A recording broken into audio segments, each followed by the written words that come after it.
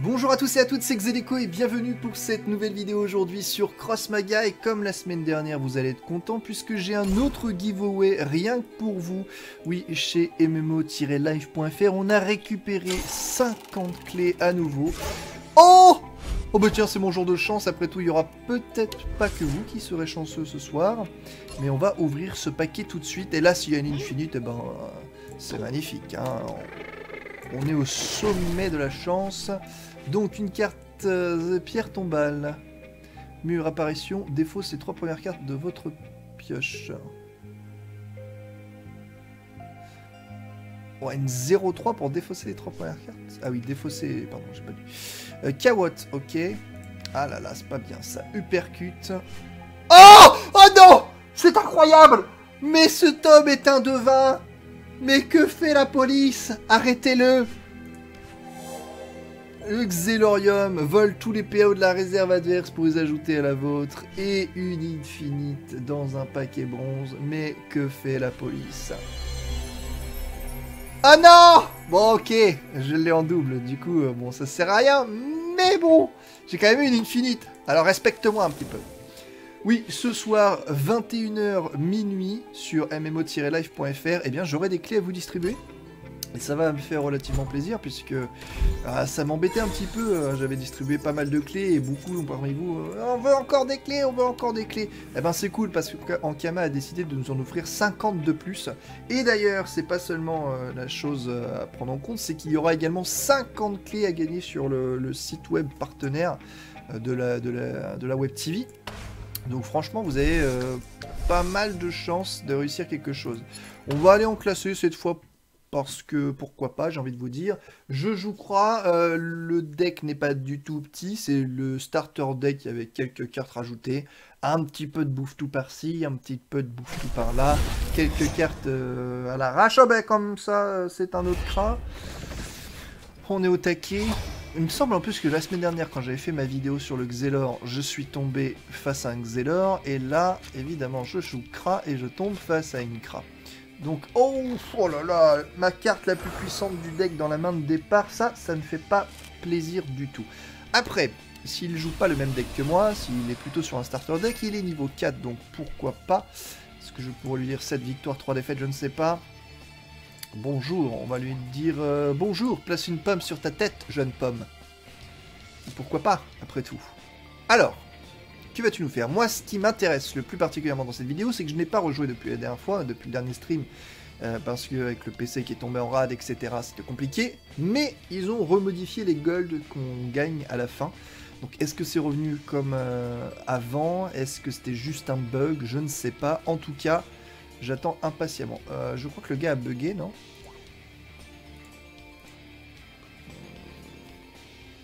À moins que ce soit son tour. À moins que ce soit un bug. Je n'ai plus de barre de temps ici. Ah, il y a peut-être un souci. Hum, pourtant, l'interface a l'air de fonctionner. Je ne peux pas poser mes cartes. Ah C'est un bug euh, malencontreux.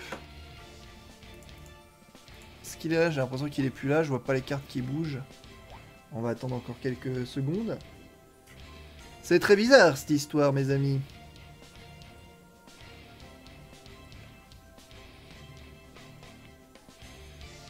pense que c'est un bug. Je rappelle que le jeu est en bêta fermée encore actuellement, donc s'il y a des bugs c'est normal, tant mieux. Mieux que ce soit maintenant que quand le jeu sortira officiellement. Bah j'avais pas une main dégueulasse en plus, surtout face à Akra, un Truchider ça les embête, et puis euh, Marlin c'est vraiment puissant. Je peux changer Marlin euh, avec le corps adverse, et un rabais aussi hein, pour euh, l'écra 1-1. Franchement c'était vraiment une bonne main de départ, hormis Lucifer, pas une très bonne main, mais c'était une bonne main de départ. Bon, je pense que là, ça a bugué, du coup, je vais mettre pause à l'enregistrement. Et bah non, bah voilà, tu vois, je lui fais un petit peu de menace, il est pas content. Donc, euh, est-ce que j'entame tout de suite avec un Truchider Je pense bien. On va prendre l'offensive et on va commencer par...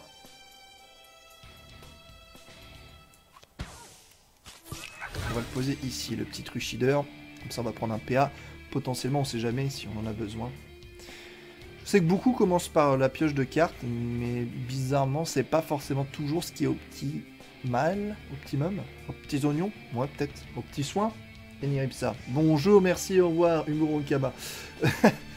bon, là, s'il pose une créature à 2, ça peut être cool. Marlene, j'essaye de l'XP, c'est assez difficile parce que c'est une carte que vous posez, mais qui éventuellement ne va gagner que 5 XP. Je rappelle que si je dis pas de bêtises, quand une carte est posée, une carte infinite est posée, vous avez 5 XP. Quand elle tue une autre créature, elle gagne 2 XP. Quand elle arrive au bout d'une ligne, elle gagne 5 XP. Et quand elle tue un Dofus, elle gagne encore 5 XP. Donc euh, pour le coup, si vous avez une créature que vous posez qui tue un monstre et qui arrive au bout de la ligne, vous avez 17 XP, ça c'est le top. Par exemple, le dragon cochon, XP très très vite. Alors je ne sais pas si l'adversaire est très très lent ou s'il m'embête exprès, je n'en sais rien. Mais faut te bouger le cul mon vieux, hein, parce que là sinon on n'est pas sorti de l'auberge. Arrête de regarder tes cartes, joue C'est pas ta première game, t'es déjà classé numéro 4. Ah bah quand même J'avais cru que ça allait être la fin du monde. Il a trouvé le bouton ou pas euh, pour passer son tour? Bon, là, en tout cas, il a raison de ne pas poser de créature, parce que sinon, mon Trucideur va changer de ligne. Il pourrait être amené à en poser une maintenant pour le faire changer de ligne, et du coup, euh, se retrouver en face à face. Ça évite que, généralement, beaucoup font la bêtise, c'est que je pose le Trucideur, et... Euh, ah, voilà. Ah, bah quand même Oui, donc ça n'a toujours pas été corrigé pour les golds, malheureusement. Ou alors le mien hein, est toujours buggé, je ne sais pas. On va essayer de se refaire une game. Waouh, je suis passé en 8. Tellement de puissance en moi. J'avoue que cette game a été serrée. Bon, et là, comme par hasard, je vais faire une game et je vais avoir la pire main de départ. Ah, ben encore un cra. Ben décidément, je vais montrer à tout le monde qui c'est le meilleur? Oh, parfait, parfait. Quoique la flèche d'immolation en main de départ, je pourrais vous conseiller, si vous n'avez pas mieux, de la garder. Parce que ça inflige 2 points de dégâts, donc ça permet d'éliminer pas mal de dangers en début de game. Et puis en plus, vous piochez une carte. Donc je pense que je vais garder cette flèche d'immolation. On sait jamais ce qu'on peut avoir. On ne sait jamais ce qu'on peut avoir. Bon, c'est moi qui débute. Parfait, donc fin du tour. Et on joue vite. Je vais lui dire bonjour jeune pomme. Place une pomme sur ta tête. Place ton frère, ça va aussi.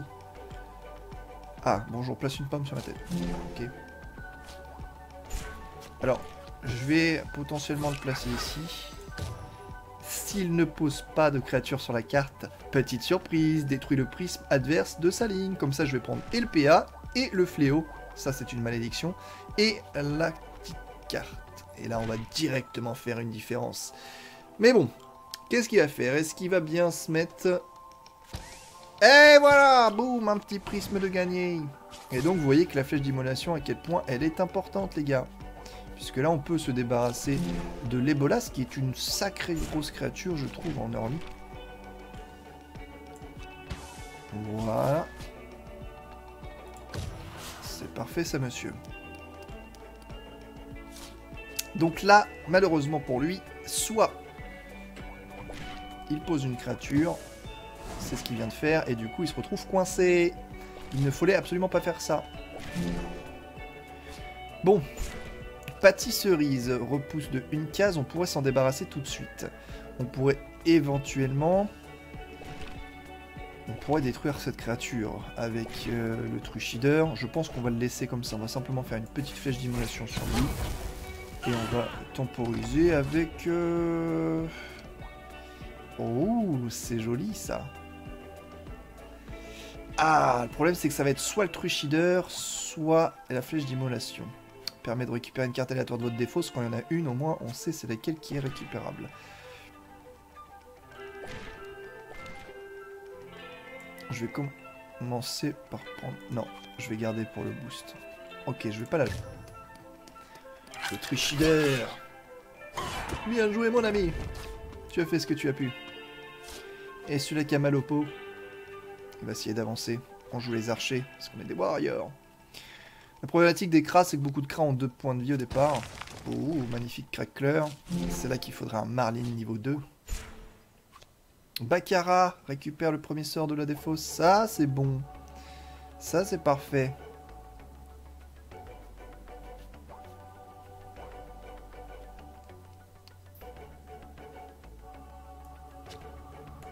Après, j'avoue que j'aimerais bien garder une flèche destructrice. Hmm. Bon, écoutez, je vais jouer celui-là. Parce que dans tous les cas, peu importe ce que je récupère, ça va m'être utile, comme c'est le cas actuellement. Si j'aurais récupéré la flèche d'immolation, tant mieux. Si je récupérais le Tréchidaire, j'ai encore la possibilité d'aller chercher un sort avec Bakara, donc euh, c'est pas un problème. Crackler, c'est très puissant. Mais on va se mettre tranquillement, on a encore le Bouffetou Royal qui peut terminer quelque chose. On a le Wobot hein, qu'on peut bientôt poser. Ça avance vite au départ. Ah, le petit Kralamour qui va se soigner. Très efficace. Crackler, c'est efficace. J'ai toujours, depuis la bêta, trouvé la résistance un peu trop puissante à mon goût. Parce que sur des early, euh, c'est ouf. Et même en fin de game, c'est assez ouf pour faire la différence. Bon,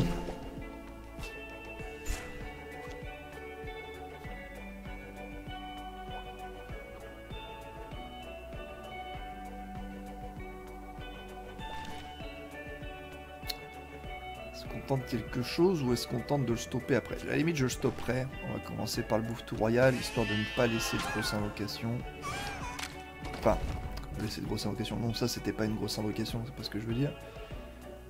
Je plutôt garder le contrôle du terrain, genre. Je vois plutôt ça comme ça. Là, on le force à mettre euh, des créatures sur des lanes qu'il a pas forcément envie de jouer. Et s'il fait ça, voilà, ça va modifier ma truche. Donc c'est parfait. Et une flèche explosive. Alors on sait qu'en craft, faut les compter. Hein. Premier sort lancé. Attention à notre ami Fléau. Ça pourrait être redoutable. On va simplement jouer un Wobot. Une flèche explosive placée, donc on en profite pour mettre le Wobot qui lui va garder euh, sa superbe. Le rôle du Bouffeto Royal a été accompli avec son 2 points de dégâts. Dommage pour notre ami Truchider qui ne peut pas aller au bout pour l'instant. J'aurais peut-être pu Fléau, là, euh, pas. Flèche d'immolation, je veux dire. Je confonds tout. J'aurais pu flèche d'immolation ça. Bien joué. En l'occurrence... Ah, le petit ami Polter Tofu, bien joué Comme ça, le respawn de la carte. Ici, je suis foutu. Ben, un partout au moins. Chacun son tour, on se vole des cartes.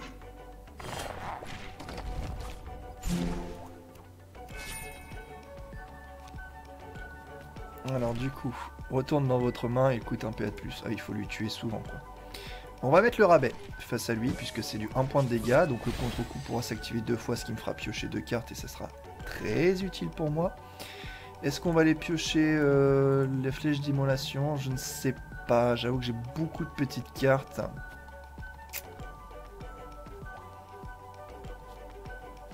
Ou alors je fais un rasa total maintenant.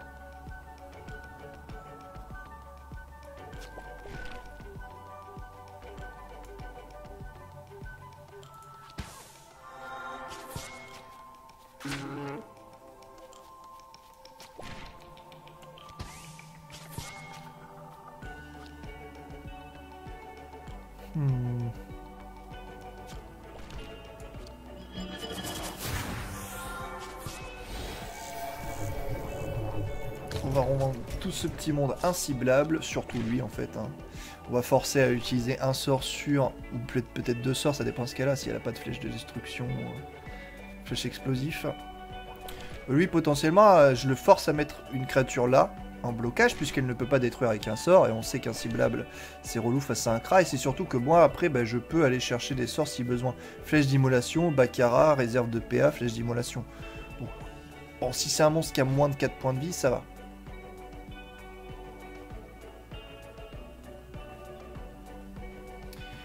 Donc là, on va essayer de bourrer toutes les lanes. J'ai pas trop choix dans la main. Ah, un petit bébé forer, c'est mignon. Bah, par exemple, voilà. Flèche d'immolation, ici, c'est parfait.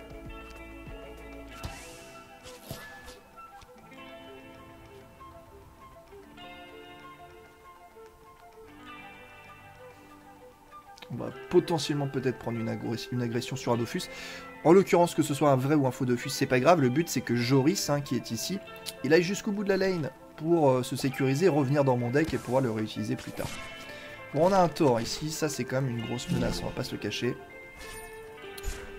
Inflige 3 points de dégâts, une invocation. Parfait, parfait. Donc let's go pour une flèche criblante.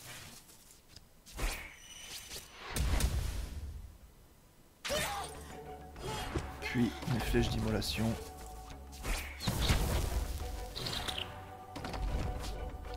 Ah, tiens, ça c'est patché. Tiens, tiens, tiens, je viens de voir la, petite nuance ici. Eh, joli En fait, ça réapparaît quand même.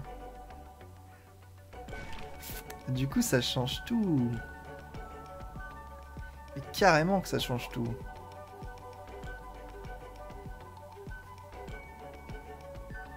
Je pense qu'on va agencer les choses différemment. Parce que là, si elle avance, portée de 1-2. Ouais, donc elle se fait bouffer au prochain tour. Fin de tour. Et attention, on a peut-être la ciblable toujours. Encore une fois, on garde la possibilité d'aller chercher la flèche d'immolation en dernier. Avec Baccarat, là on peut faire flèche d'immolation plus Clarabine pour terminer ce bouffe tout royal s'il devient dangereux. Ce qui serait un bon échange, hein, je pense. Alors, est-ce que tu vas détruire mon petit Joris? Mais je pense pas que tu as un combo de sorts suffisamment euh, intéressant pour claquer, pour tuer Joris. Peut-être flèche, flèche criblante, hein, comme on l'a vu, qui inflige 3 points de dégâts et 1 point d'offus adverse, qui est ici. Et après, il faudra encore une fois le terminer avec une flèche d'immolation ou d'autres choses. Ah, on a une petite Léla. Euh, parfait sur le polter Tofus. Donc là, un très bon choix aussi. Pas se le cacher. Je pourrais peut-être en tirer quelque chose. On va mettre Bakara hein, ici, face à ce petit polter tofu, je pense. Oh, serait-ce un vrai Dofus? Attention, ça c'est pas bien. C'est pas bien du tout. C'est bien joué. On va donc du coup se servir du Black Rabbit.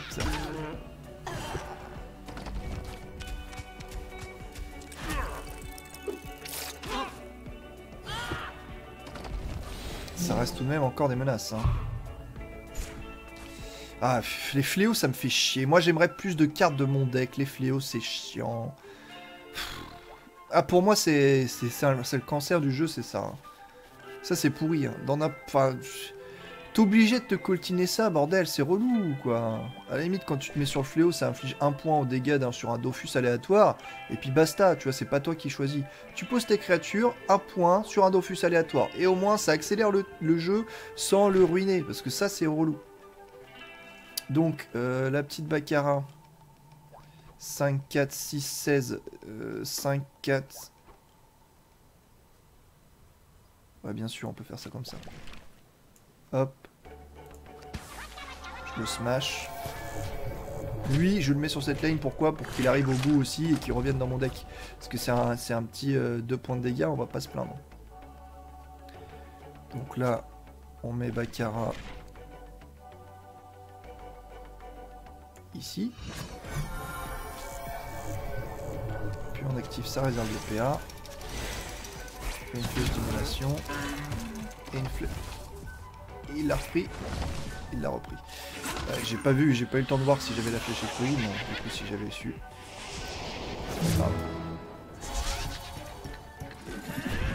Flèche explosive c'est très bien, on va pouvoir contrer ce qu'il va poser là. Donc vous voyez, ici, mon petit Joris va arriver au bout. Donc on va lui faire une esquive pour le ramener, histoire de, maintenir son effet le plus longtemps possible sur le terrain. Parfait ça. On va faire une flèche destructive, 5 1, 4. Invoquer un chuchoteur étant 2, 1, 1, 2. donc excellent. On va pouvoir mettre la pression sur un Dofus. Donc flèche explosive esquive, ça me reste 5. Je vais faire un fléau et puis on verra bien. Un fléau, peut-être une Clarabine, je ne sais pas. J'avoue que ça, c'est aussi traumatisant pour moi. Mais dites-vous que c'est la tristesse, parce que si ça, ça avait été un vrai Dofus, je pourrais déjà terminer la game. C'est ça la tristesse. C'est que je mets tous les fléaux là-dessus et boum, la, game est terminée. C'est pas franchement intéressant. Hein. Vous voyez les games qui se jouent au fléau comme ça Pas cool.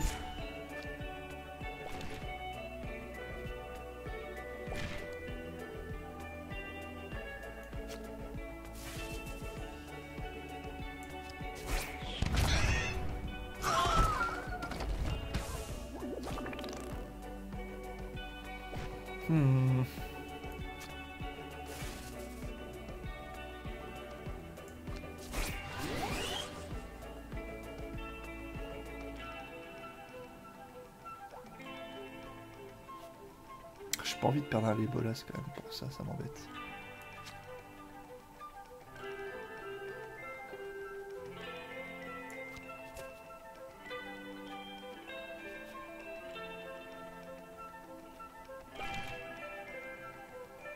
Je, laisse passer celui-là, j'ai pas envie de claquer des créatures là-dessus. Donc on va... Ou alors je place le fourreur. On lui fait croire que c'est un vrai. Allez, on lui fait croire que c'est un vrai, c'est pas mal. En plus je pioche le Wobot à la place, donc... Euh, que demande le peuple, mes amis?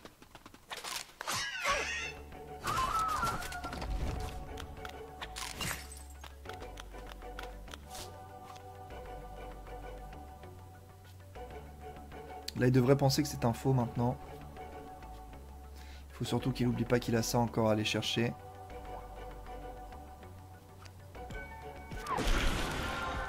Ah, le 3 points de dégâts. Allez, adieu Joris. Ah non, c'est ma punition pour l'avoir laissé sur le terrain trop longtemps. C'est là une des meilleures infinites, je pense. Tout le monde est d'accord. Surtout 3 points de dégâts pour un meilleur sort du jeu. Puis l'infinite est pas dégueu, hein. une 2, 3 pour 2, 2, 3, 4. Ça c'est le problème dans le Kama, j'ai envie de vous dire. C'est que déjà 3 points de dégâts pour 1, c'est trop puissant. Donc à la limite, tu lui donnes un, truc qui fait une invocation, ok, c'est super balèze. C'est le pouvoir d'infinite. Je suis en train de perdre un fléau uniquement, voilà. Je suis en train de perdre un Dofus uniquement fléau. Tu maîtrises toute la game en fait. Et, là le jeu est en train de te dire, bah en fait non, t'es nul à chier. Euh, tu vois, le fléau te fait gagner. C'est-à-dire que là je vais mettre mon Wobot elle met une flèche explosive et j'ai perdu la partie, mesdames et messieurs. Merci le jeu. Donc en Kama, si vous voulez euh, faire un petit peu d'e-sport ou de potentiel de tournoi, faites pas ça parce que le public ne veut pas voir ça. C'est juste horrible, merci. Vous voyez là, je suis en train de me faire punir parce que le mec a plus de chance que moi. Et dans un jeu de cartes, la chance, c'est ce qu'on veut éviter. Voilà, là je suis en train de perdre la game. Je suis en train de perdre la game.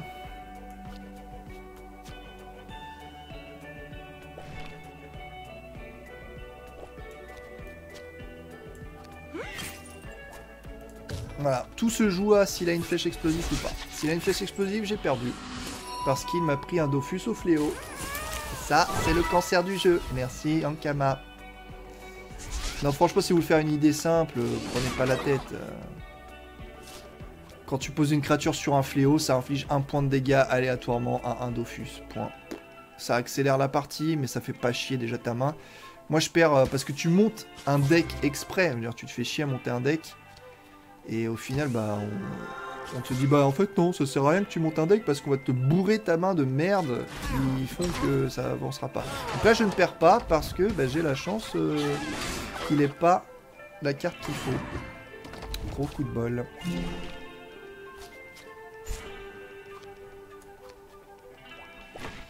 Bon,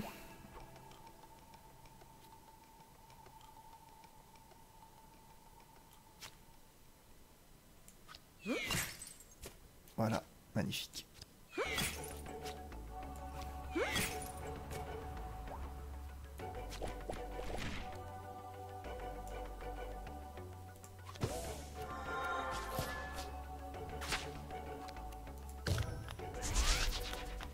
Si c'est un vrai Dofus, eh ben, encore une fois, c'est de la merde. je déteste perdre avec les fléaux, mais je déteste gagner avec les fléaux. C'est horrible, c'est horrible. Les gars, vous avez fait un, tout un système magnifique sur un jeu de plateau avec des unités qui avancent et du combat. Et là, vous nous dites, bah en fait, on, s'en fout un peu que les unités elles combattent, puisque si tu as posé suffisamment d'unités sur les fléaux, tu vas gagner uniquement avec les fléaux. Et ça, je trouve que c'est pour moi le plus triste dans le jeu. Donc j'espère que ça sera vite corrigé. Et bah voilà, du coup, si je gagne ici, c'est la tristesse pour moi de, ce jeu. Et c'est un faux. Bon bah voilà, moi je ne gagne pas. Je perdrai peut-être du coup au fléau. C'est pas grave. Évidemment là j'ai pas de bol mais...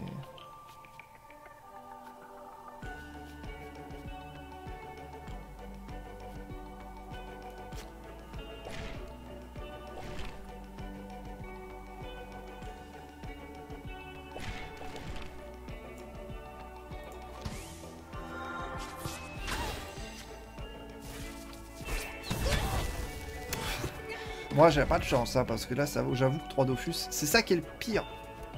C'est que je domine la game, je prends 3 Dofus, mais avec que des fléaux, il peut gagner la game parce que lui aurait eu de la chance de taper sur les bombes dès le direct. On rappelle qu'il n'a pas touché un seul Dofus avec aucune créature ou quoi que ce soit. Donc je suis en train de dominer à mort, mais il peut le remporter. Et pas par le skill, c'est ça le problème. Et pas par son deck. Ça, j'aime pas. J'apprécie pas du tout.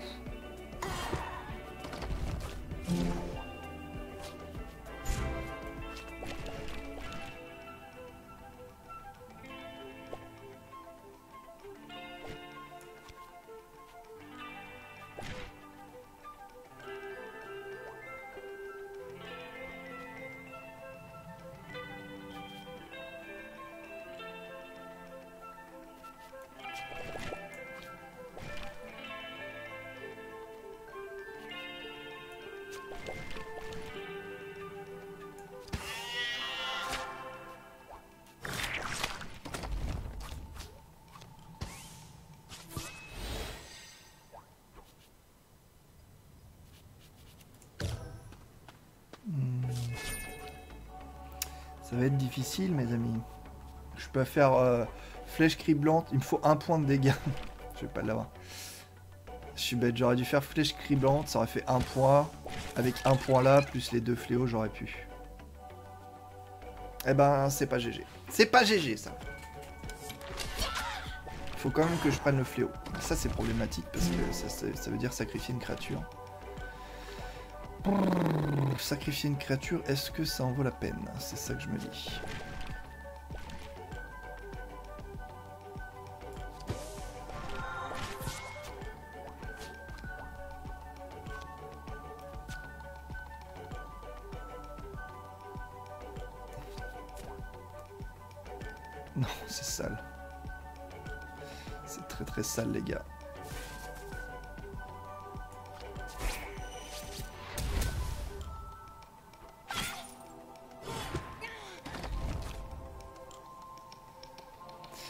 Parce que j'ai envie d'avoir ce fléau là. parce que là, regardez, flèche criblante. Fléau, fléau, fléau, j'ai gagné limite. Mais. Euh, zut.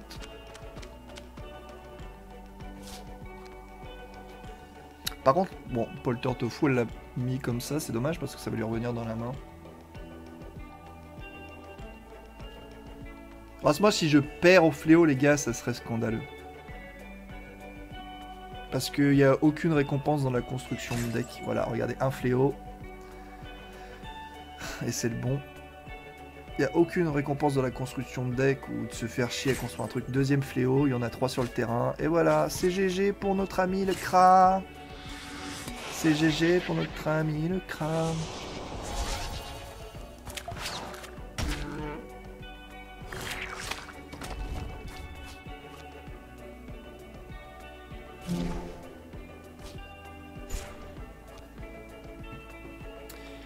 Personnellement j'étais content.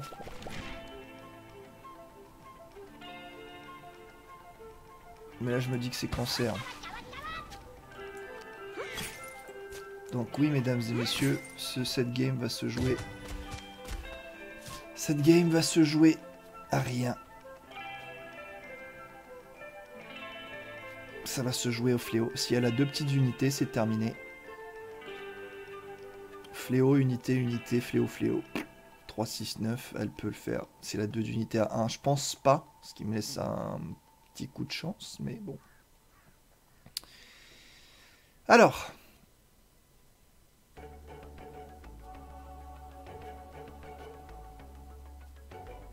Est-ce que... Je crois que j'ai... Ah, Lucifer carrément. Donc un fléau. Elle va utiliser son PA pour faire un fléau ou pas? Telle est la question. Je vais perdre cette game, c'est beau. C'est magnifique. Inflige 5 points de dégâts. On n'a peut-être pas perdu. Au prochain tour, j'ai perdu. Pas encore là.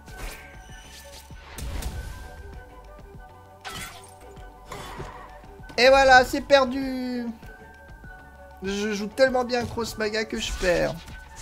C'est du troll, mais ça l'est pas vraiment en fait, les gars. Merci GG, merci à tous d'avoir regardé cette vidéo. C'était du Cross Maga, s'il vous plaît en Kama, changez cette connerie de fléau. Changez-moi cette connerie de fléau, s'il vous plaît. C'est typiquement cette vidéo est la preuve, donc n'hésitez pas à l'envoyer en Kama. Cette vidéo est la preuve de tout ce qui est mauvais dans le jeu actuellement, et ça c'est conseil. Mais qu'est-ce qu'il fait Oh non, en plus il a la win, il le fait pas. Il a un fléau dans les mains. Il avait juste à poser sa créature sur la carte fléau là-bas, il l'aurait remporté. Ah bah c'est bon, il le remporte même. Ah bah non, parce que maintenant il a plus les fléaux possibles. Ah c'est dommage. Bah si, il gagnera au prochain tour, c'est pas grave. Oh, purée. On va tenter le coup de chance total.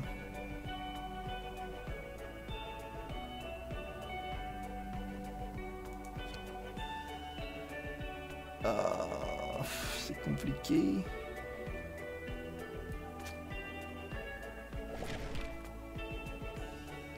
Que je vais avoir un truc... Euh,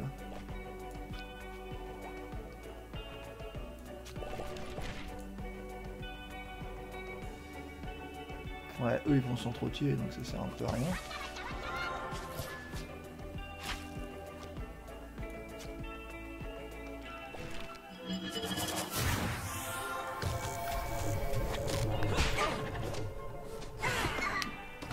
Bon bah tant pis.